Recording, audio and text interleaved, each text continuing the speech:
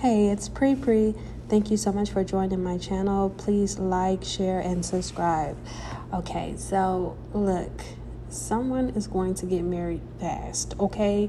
Like it's going, everything is going to happen fast, and God has been giving you signs um, regarding this. You could have had dreams, visions, glimpse. Um, you could be seeing married everywhere. You could see pictures of people getting married. You could hear people speaking about their testimony. Like someone is about to get married fast. When I say fast, like one month you're proposed to, and could be next week you're married, or like two days later, like you're married. Like, seriously, this is how fast it's going to be. God said it's going to happen so fast. This man is not going to be able to be manipulated. This woman is not going to be able to be manipulated.